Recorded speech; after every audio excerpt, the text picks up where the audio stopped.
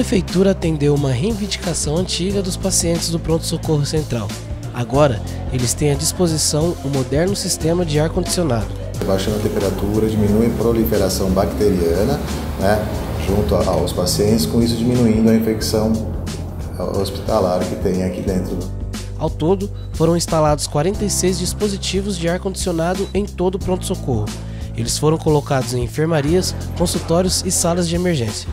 É muito benéfico tanto para o meio ambiente no pronto-socorro, como para os médicos, para os pacientes. O equipamento vai melhorar o atendimento e o bem-estar dos pacientes. Outros quatro aparelhos foram instalados no almoxarifado, o que vai impedir que remédios em estoque sejam danificados pelo calor. Aos poucos, a saúde em Itapevi começa a melhorar.